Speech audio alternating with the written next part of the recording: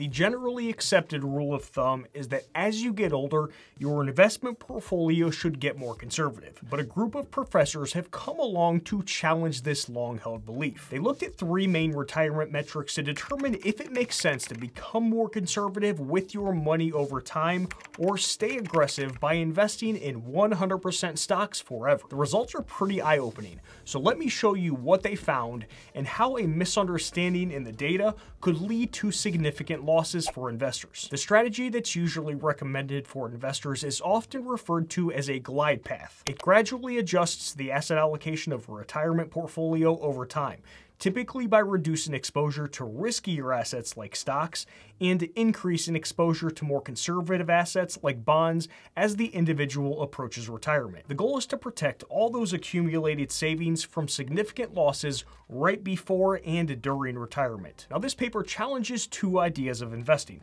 Number one, investors should diversify across stocks and bonds in retirement.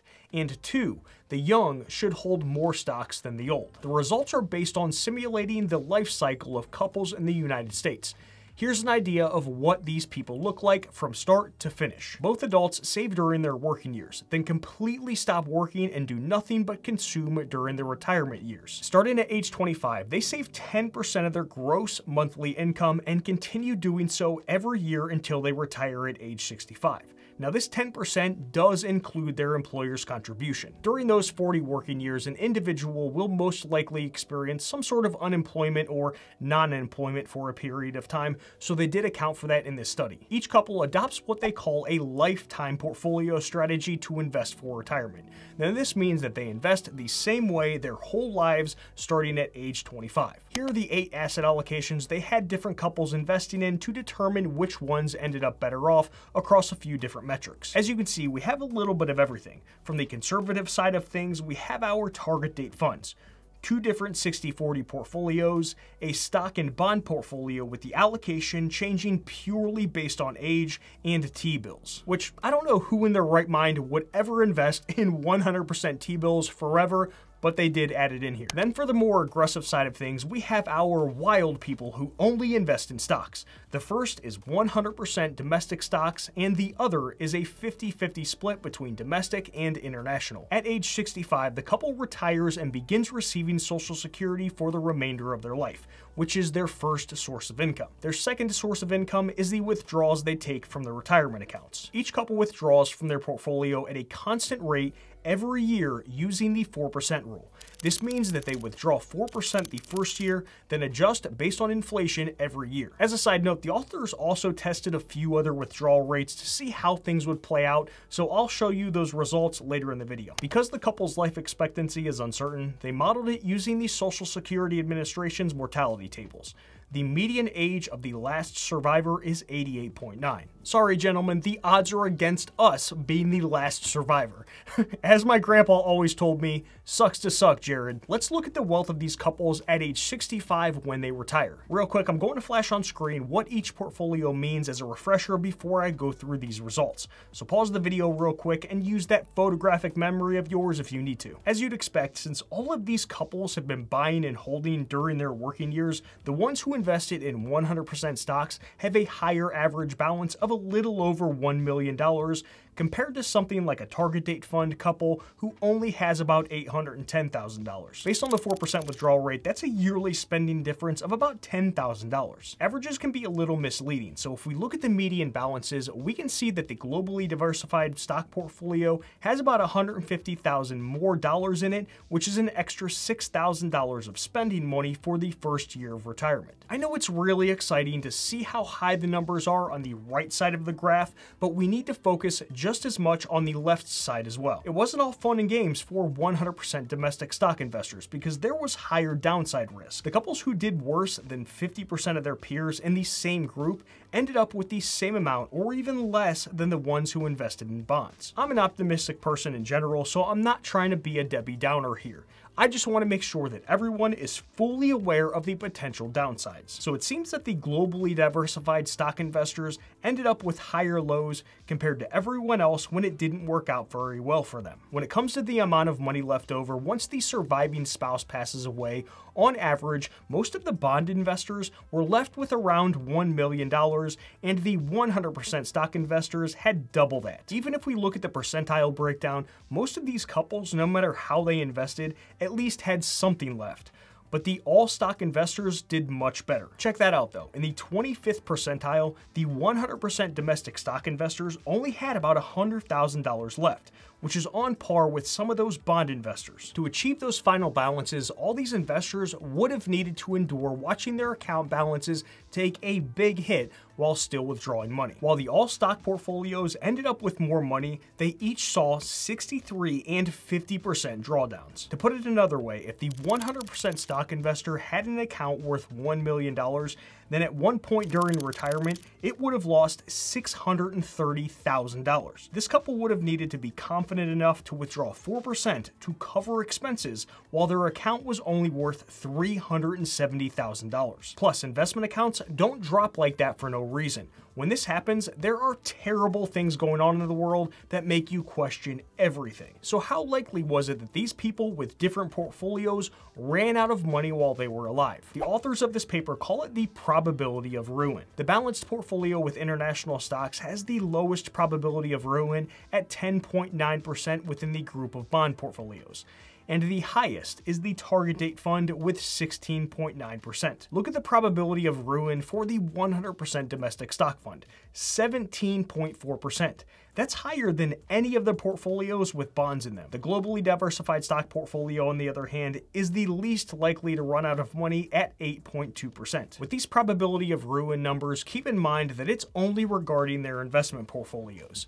Since these couples still have Social Security, they technically still have income coming in every single month. Of course, this wouldn't be the most ideal situation and should be avoided if possible, but it's not like these people are guaranteed to be homeless, living on the streets, turning tricks for their next meal. Here are the probabilities of running out of money when we compare the 4% withdrawal rate to a 3 and 5%. As you'd imagine, the 5% withdrawal rate is high enough to make anyone a little uncomfortable, and 3% seems a little better, especially when you see how low it is for a globally diversified stock portfolio. What I find interesting is how high the probability of ruin is for the 100% domestic stock investor at the 3 and 4% withdrawal rate. It appears to never be a good idea to only invest in one country. So what does this mean for us as investors? Should we ignore the rule of thumb that says to add bonds as we get older or stick with 100% stocks all the way through? Well, not so fast because I think that there are a few things that this paper misses. First, stocks have always had higher expected returns compared to bonds. It's no surprise that a portfolio with 100% stocks will most likely outperform one with bonds over time and the whole paper is based on the total return regardless of anything else. This is all well and good for someone investing in 100% stocks during their working years when they have the time and the active income to make up for any losses. But for someone in retirement with less time to recover from losses, it's about way more than maximizing returns at all costs. Among many other things, it's about accounting for the risk involved with investing in a 100% stock portfolio versus something like, say, a diversified 60-40 portfolio. Research has shown risk aversion in both young adults and older adults, with greater risk aversion in those older adults. This is one reason risk-adjusted returns are important to understand. They're going to help you see which investment is actually better when you consider risk. It's like saying for every bit of risk I take, how much money do I make? We can compare the risk of different portfolios by looking at something called the Sharpe ratio. In simple terms, the higher the number, the less risky when compared to others. Here are three portfolios I put together.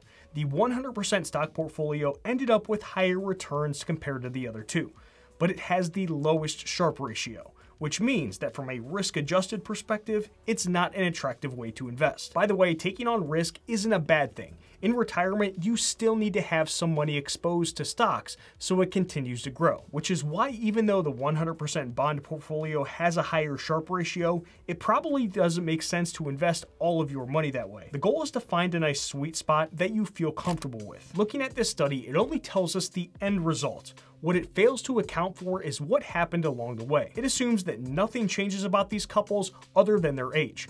They are compliant, rational robots who do everything based on what the rulebook says every single time. The last time I checked, the only thing this perfect and well behaved is my dog Molly while we're hiking in the woods. Molly, stop. Good girl. Stay. Good girl. Stay. Rochambeau. Red. Reject. Written. Release. Good girl. Good job.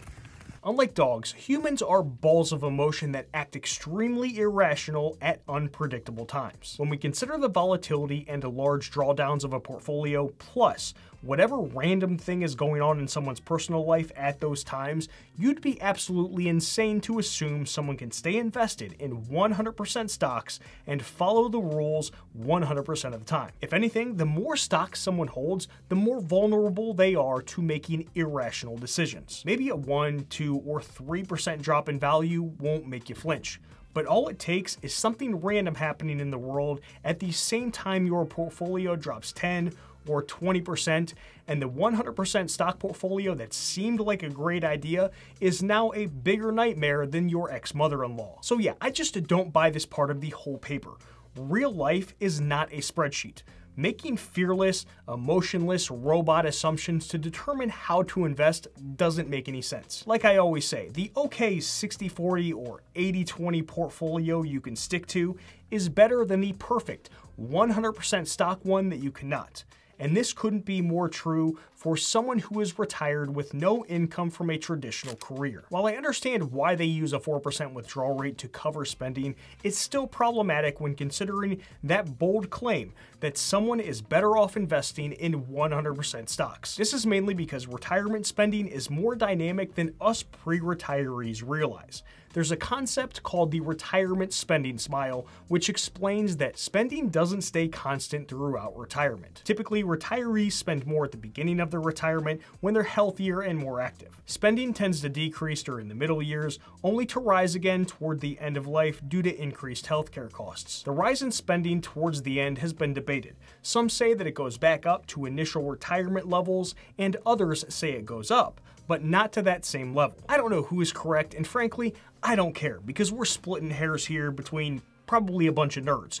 All you need to know is that the number generally goes back up as you get closer to being blasted off into another dimension forever. Forever. So while the 4% rule provides a useful guideline, the outcome for portfolios with bonds would actually last longer when we account for lower withdrawal rates during the middle years of retirement. You can actually model a more dynamic retirement spending plan through the do-it-yourself retirement software that I personally use, New Retirement. I'll have a link in the description if you want to check it out. One aspect that was missing in this paper, which I wish they would have included, is information on how quickly the portfolios of couples failed. This detail is important because if, for example, two portfolios failed, but one did so after 7 years and the other after 14 years, then there would be more time to adjust and course correct the portfolio with the longer lifespan. Although I don't have data to support this claim, it seems likely that a 100% stock portfolio would fail faster than one that includes a portion invested in bonds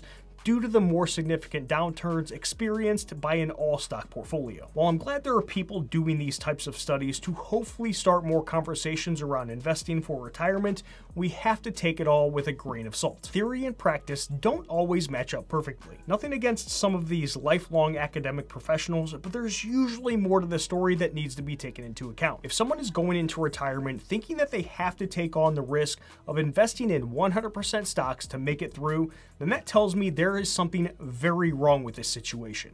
Walking into a casino to try to fix your financial problems is never the answer. On the other hand, I do know that there is a subset of the population who is comfortable taking on more risk by investing in 100% stocks forever. If that's you, then go for it. I couldn't care less either way because it's your money and I'm not your daddy. And if you think I'm your father, then tell your mother I'm sorry. There are a lot more levers that you can pull to make your money last in retirement. I created a free guide laying out each one, which you can get a copy of in the description down below. Make sure to hit that thumbs up button before you go. Done.